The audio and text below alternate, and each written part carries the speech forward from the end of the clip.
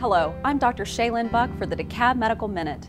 Many conditions bring patients to DeKalb Medical's Heart and Vascular Institute, and some of our patients will need a procedure called a cardiac catheterization, which can be performed at DeKalb Medical's state-of-the-art cath lab.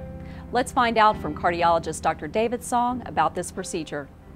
Cardiac catheterization is an invasive but usually a very safe procedure that allows the doctor to obtain detailed information about a patient's heart condition.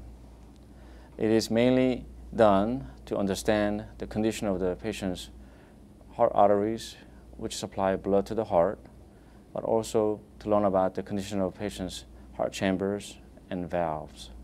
At the cath lab, the patient is first given a relaxing medicine, followed by a light injection into the right groin, which is the entry point for heart catheterization. A small tube is then placed in the groin and multiple catheters are fed through it to take pictures of the heart arteries using x-ray dye. In general, procedure take, is very short, less than 40 minutes. afterwards, patient is allowed to lie down in bed for several hours for recovery. In general, recovery is very, very quick.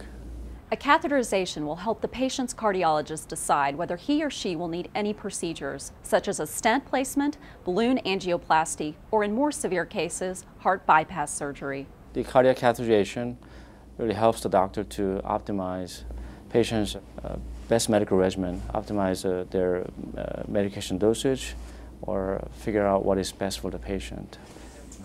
My patients have benefited greatly from uh, both diagnostic and therapeutic procedures uh, that are offered at DeKalb Medical. And it's been a pleasure to be working as part of the team uh, at DeKalb Medical and Heart and Vascular Institute. Thanks for watching this DeKalb Medical Minute.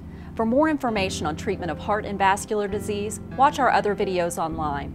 Just a few minutes of your time can save your life.